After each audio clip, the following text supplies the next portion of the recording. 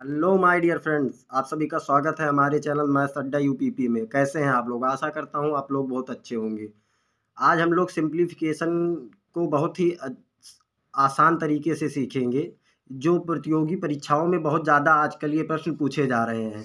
जैसे type one के question है, दिया गया है one one upon one plus one upon one plus one upon one plus one upon one by three तो ऐसे क्वेश्चनों को सॉल्व करने के लिए नीचे की जो संख्याएँ दी गई हैं, जैसे नीचे में लिखा गया है एक बटे तीन तो एक और तीन को ऐसे लिख लेंगे। फिर उसके बाद में देखेंगे कितनी बार प्लस आया हुआ है। एक, दो, तीन, चार बार प्लस आया है तो चार खाने खींच लेंगे ऐसे। एक, दो, तीन, चार। फिर उसमें एक और तीन को जोड़ेंगे तो ये हो जाएगा चार। फिर चार और तीन को जोड़ेंगे चार तीन सात हो जाएगा। सात और चार को जोड़ेंगे, सात चार ग्यारह हो जाएगा। ग्यारह और सात को जोड़ेंगे, ग्यारह सात अट्ठारह हो जाएगा। तो पीछे वाली जो दो संख्याएँ हुई, दी गई हुई हैं, उसमें में से सबसे छोटी संख्या, जो छोटी संख्या है, उसको ऊपर लिखेंगे। जैसे ग्यारह छोटी संख्या, उसको ऊपर लिख देंगे और बड़ी संख्या को नीचे लिख देंगे। यही इसका आंसर होगा। बड़ी संख्या को नीचे लिख देंगे, यही इसका आंसर होगा। अब जैसे ये क्वेश्चन दिया गया है दूसरा वाला क्वेश्चन जो दिया गया है, जैसे इसमें है one up, one upon one plus one upon one plus one upon one plus one upon one plus five दिया गया है। तो इसमें नीचे जो संख्या दी गई है, एक और पाँच दी गई हुई है तो एक और पाँच को ऐसे लिख लेंगे, एक और पाँच को लिख लिया गया। फिर उसके बाद में देखेंगे कितने प्लस दिए गए हैं, जैसे एक, दो, तीन, चार प्लस हैं तो चार खाने खींच लेंगे, एक, दो, तीन, चार खाने खींच लिए। फिर उसके बाद में एक और पाँच को जोड़ेंगे तो छः हो जाएगा छः और पाँच को जोड़ेंगे, ग्यारह हो जाएगा, ग्यारह और छः को जोड़ेंगे, सत्रह हो जाएगा, सत्रह और ग्यारह को जोड़ेंगे, अट्ठाईस हो जाएगा, अट्ठाईस हो जाएगा। तो पीछे की दो संख्याएँ जब उठाएँगे, पीछे की दो संख्या है तो इसमें सबसे छोटी संख्या सत्रह है, उसको ऊपर लिख देंगे, और बड़ी वाली संख्या अट्ठाईस है, उसको नीचे लिख देंगे, यही इसका आंसर होगा। अब जैसे ये वाली संख्या है, ये वाला क्वेश्चन है, one upon one plus one upon one plus one upon one plus four. तो इसमें एक और चार दिया, एक और चार को ऐसे लिख लेंगे, फिर उसके बाद देखेंगे कितने प्लस दिए गए हैं। तो एक, दो, तीन प्लस दिए गए हैं, तीन खाने खींच लेंगे ऐसे। फिर इसको जोड़ेंगे चार, एक, पाँच। फिर पाँच और चार को जोड़ेंगे पाँच, चार, नौ। फिर नौ और पाँच को जोड़ेंगे नौ, पाँच, चौदह। अब पीछे वाली दो संख्याएँ उठा लेंगे इसमें। पीछे वाली संख्याओं में जो सबसे छोटी संख्या होगी उसको ऊपर लिखेंगे, जो सबसे बड़ी संख्या होगी, उसको नीचे लिखेंगे। अब टाइप टू पे हम लोग आते हैं। टाइप टू के क्वेश्चंस दो दिए गए हैं। जैसे ये दिए गए हैं दो की पावर बीस प्लस दो की पावर बीस प्लस दो की पावर बीस प्लस दो की पावर बीस। इसको हम लोगों को सॉल्व करना है। तो इसको हम लोग लिख सकते हैं, इसमें में से दो की पावर दो की पावर बीस इसमें में से कामन कर ले कामन कामन ले लेंगे। दो की पावर बीस इसमें से कामन ले लेंगे तो बचेगा क्या इसमें? One plus one plus one plus, one. चार बार वन बचेगा तो इसको जब जोड़ेंगे तो दो की पावर बीस, ये गुड़े में है तो गुड़ा हो जाएगा, गुड़े चार हो जाएगा।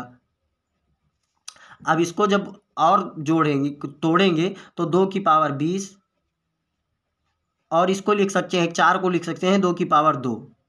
तो और जानते हैं आप लोग, गुड़े में घाते जुड़ जाती हैं। अगर बेस सामान्य हो तो गुड़े में घाते जुड़ जाती हैं। तो इसमें हो जाएगा दो की पावर बीस प्लस दो। दो की पावर बाईस हो जाएगा। यही इसका आंसर होगा।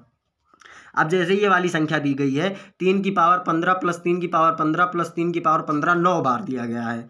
तो इसको ऐड करना है। तो इसमें भी तीन की पावर पंद्रह कॉमन ले लेंगे। तीन की पावर पंद्रह कामन ले लेंगे और बचेगा ब्रेकेट में one plus one plus one plus one plus one plus one plus one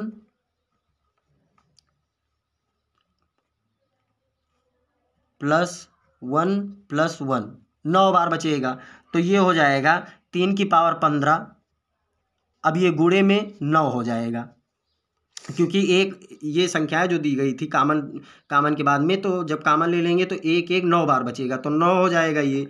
तो इसको जब तो और सॉल्व करेंगे, तीन की पावर पंद्रह। गुड़े, इसको लिख सकते हैं नौ को तीन की पावर तीन।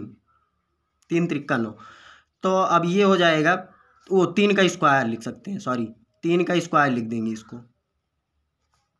अभी इसको जब और सॉल्व करेंगे तो गुड़े में घाते जुड़ जाती हैं तो तीन की पावर पंद्रह प्लस दो बराबर तीन की पावर सत्रह। इसका आंसर हो जाएगा। अब हम लोग टाइप थ्री पे आ गए हैं। इन क्वेश्चनों को सॉल्व करने का बहुत ही आसान तरीका ये है, जैसे इसके एक बटे तीस प्लस एक बटे बयालीस प्लस एक बटे छप्पन प्लस एक बटे बहत्तर प्लस एक बटे नब्बे प्लस एक बटे एक सौ दस। इसको हम लोग तोड़ लेंगे दो भागों में। पाँच और छः। पाँच और छः में तोड़ लेंगे। छः पंचे तीस। फिर इसको तोड़ लेंगे छः और सात में। इसको छप्पन को तोड़ लेंगे सात और आठ में, आठ सत्य छप्पन। बहत्तर को तोड़ लेंगे आठ और नौ में। नब्बे को तोड़ लेंगे नौ और दस में। नौ और दस में। इसको तो एक सौ दस को तोड़ लेंगे दस और ग्यारह में। इसको इस हिसाब से तोड़ना है कि इनके अंतर जो हो वो एक हो। इन इन इन संख्याओं के अंतर सदैव एक आए इस हिसाब से हम लोग को इसको तोड़ना है। तो इसका एक फार्मूला होता है, एक बटे अंतर अंतर ब्रैकेट में वन, एक बटे प्रथम पद प्रथम पद माइनस अंतिम पद। वन अपान लास्ट लास्ट पद। ठीक है? इसका एक फार्मूला है, प्रथम पद माइनस अंतिम पद। तो इसमें प्रथम पद दिया गया है एक बटे पाँच, और अंतिम पद दिया गया है एक बटे ग्यारह। तो इसमें एक बटे पाँच, अंतर दिया गया है एक, इसी पे रख देंगे, एक बटे पाँच माइनस लास्ट पर, पद जो दिया गया है, एक बटे ग्यारह दिया गया है। अब इसका एलसीएम ले लेंगे हम लोग तो ये हो जाएगा ग्यारह पच्चीस पचपन। पचपन एलसीएम हो जाएगा तो ग्यारह माइनस फाइव। ये आ जाएगा छः बटे पचपन। ग्यारह में से पाँच गई, छः बचेगा। छः बटे पचपन इसका आंसर होगा। ऐसे